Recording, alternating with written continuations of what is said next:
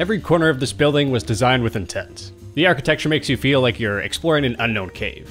The structural side was designed to be as realistic as possible through a split shear wall and a structural column grid. There's more design aspects than I can count to reduce building energy consumption and push it even closer to net zero.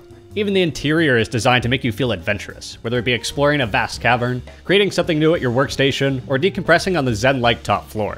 This earthy, stone-filled office tower is one of my favorites. This is how I made it. Before we dive into the architecture, green building design, structural design, and interior layouts and furnishings, please like this video just so YouTube will boost it within the algorithm. Speaking of B4, remember last week when your grandma's computer got infected with malware because a sketchy bingo ad told her she won $10,000? Well, for $1.99 a month, you can protect your grandma's computer using Atlas VPN. Think of it as a Christmas gift for less than a cup of coffee.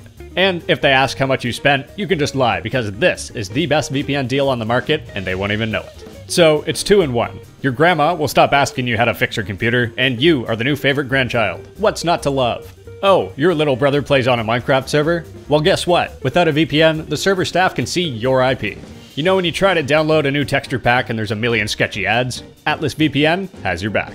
How about yourself? Netflix doesn't let you watch a show because you're not in the right country? I've got three letters for you. VPN. Predatory companies using your data to turn a profit? VPN. Join 6 million users worldwide using Atlas VPN.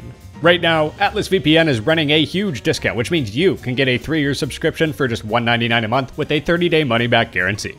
Time is running out, so get your deal by clicking the link in the video description below.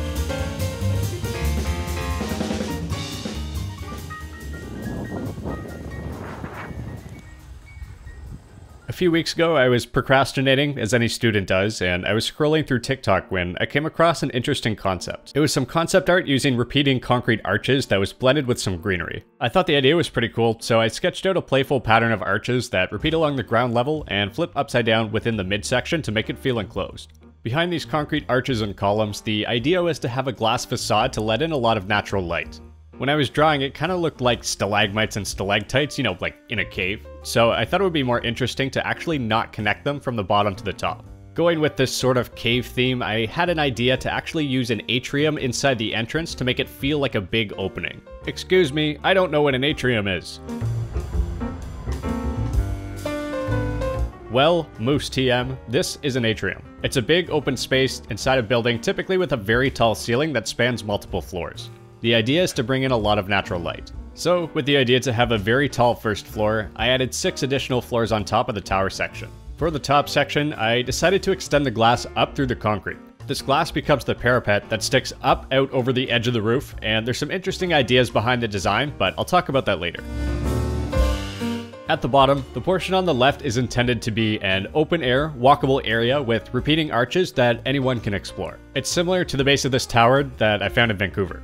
If you want your area to feel like a street front, do something like this, where you have an overhead, and then it doesn't actually go up into a building. See, it's just something like this, and then your actual building is set back. It's a nice way to create an enclosed urban space without taking up too much room. So this is the site. The city of Andea is fictionally in the northern hemisphere, which means the sun goes across the south side of the sky. Since this building to the east blocks a lot of the morning sun, and the other buildings on the west block the late afternoon sun, the south facade with the atrium is going to get the most sunlight between mid-morning and late afternoon.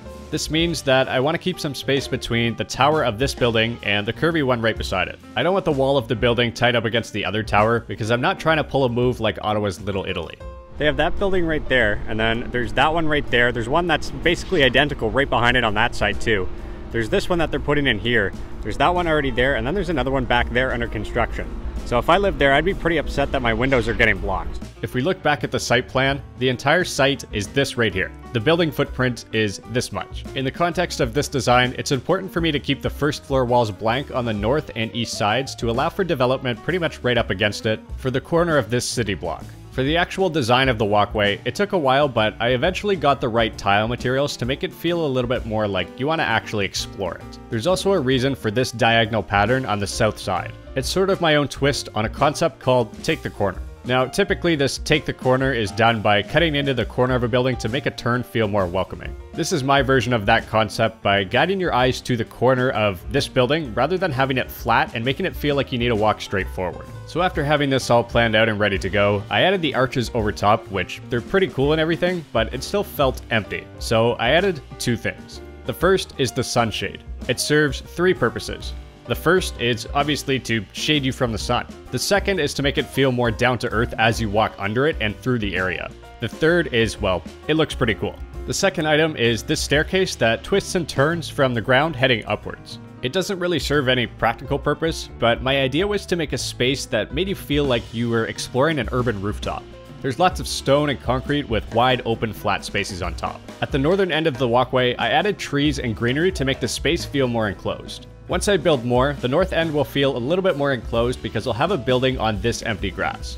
Although, when I do develop them, I'll probably keep them quite low because right now, this building has a really beautiful view of the Valley Park across the street.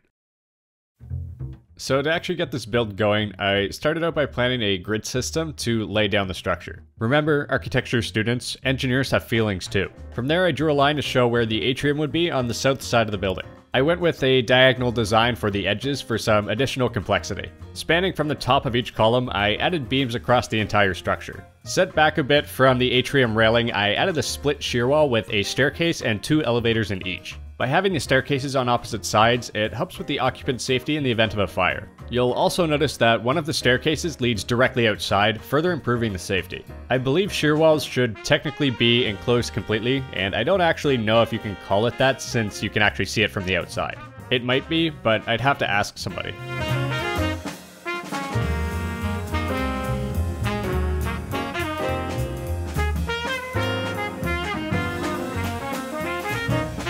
So on the south-facing facade, the idea is to let in sunlight in the late morning and early afternoon, but only when the building needs it most. This means late fall, winter, and early spring. Compared to the summer, the sun will be lower in the sky. The easiest way to do this is overhangs, but since I'm using a glass wall, I decided on a horizontal sunshade. If I turn on shaders and adjust the angle of the sun, you can see that the winter lets in more sunlight compared to the summer. Also, since I'm using concrete as a main material, it has a high thermal mass, which means it takes longer to heat up and longer to let heat go. So, if we combine this with wood flooring, the wood will heat up faster in the morning and give off heat sooner, and the concrete will do the same thing, but it's going to be a bit delayed, so it's going to release heat in the afternoon and evening. Wood is also great for visual comfort since it's a natural material. Another big part of building design is finding a way to have airflow within your building. I'm using my imagination to pretend that this section of glass right here between floors is actually a hatch that opens to allow ventilation through the building. Oh, the building is still too hot? Well, I added operable skylights on top that can open in any direction. The hot air will rise and go up and out. It will also allow cool air to come into the space. If you want even more natural ventilation, the parapet has a slot that can be opened or closed depending on the direction and speed of the prevailing wind. Now, normally the parapet would block the wind, but if it's open, the air flows over the top and is forced down into the building by these skylights. On the rooftop, I added this HVAC equipment to control the heating, ventilation, and air conditioning. To help produce the energy required from the city power grid, I added these solar panels on top. To gather the most amount of energy possible, they are oriented towards the south, where the sun is most of the time. On the roof, I have stair and elevator overruns for elevator maintenance and rooftop access. Additionally, iron bars were added along the parapet perimeter, band name called it, for window washers to clip in while they rappel down the sides. Just a quick plug before we keep moving, I have a Patreon for $3 a month that gives you access to my not so formal building videos. You won't see this type of content on my main channel, I build these really quick buildings applying everything I know before the clock runs out. If that's something you're interested in, check out the link below. On the ground floor, I really wanted to make it feel like you've entered into a cavern with mysterious parts of the cave further back. I repurposed these sunshades from outside to use it as a way to make it feel more enclosed while also providing light to the space. A touch of greenery in the atrium with a green wall hiding near the back makes it feel exciting and pulls you further inwards. The decor is very minimal and sparsely populated to give a feeling of solitude, something that I figure you'd feel if you were alone in a cave. The office floors have washrooms on the east side, a conference room in the corner, an office, a break room, and lots of workspaces designed to fit the needs of many people. The colors are pretty consistent wood flooring that switches grain direction under the workstations, gray furniture, white chairs, and glass walls. Greenery and planters with a burnt orange color are used to give it a cozy feel. Workstations are designed to incorporate social pockets, or if you find chit chat distracting, there's a few spots on the end. There's a short divider in the middle so that you don't accidentally make awkward eye contact with your coworker. It's simple, clean, and makes work tolerable.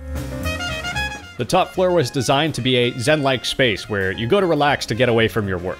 The skylights give it fresh air, daylight, and makes the atmosphere quite nice. Chat with your coworkers or find your own spot, it's up to you. There's even a section of water with a glass floor to make the sixth floor feel like an aquarium. So come take a seat with me and enjoy everything this building has to offer. From the atmospheric walk heading up to the entrance, to the cozy office spaces across five floors, the Caves is guaranteed to be an experience to anyone who explores. If you'd like to visit, join Cubed Community using the Discord link in the description and head to Monstera. Don't go anywhere yet because I have an immersive tour coming up in a minute, but I'd like to say thanks to today's sponsor for making this video possible, Atlas VPN. Right now, Atlas VPN is running a huge discount where you can get a 3-year subscription for just $1.99 a month with a 30-day money-back guarantee. Time is running out, so get your deal by clicking the link in the video description below.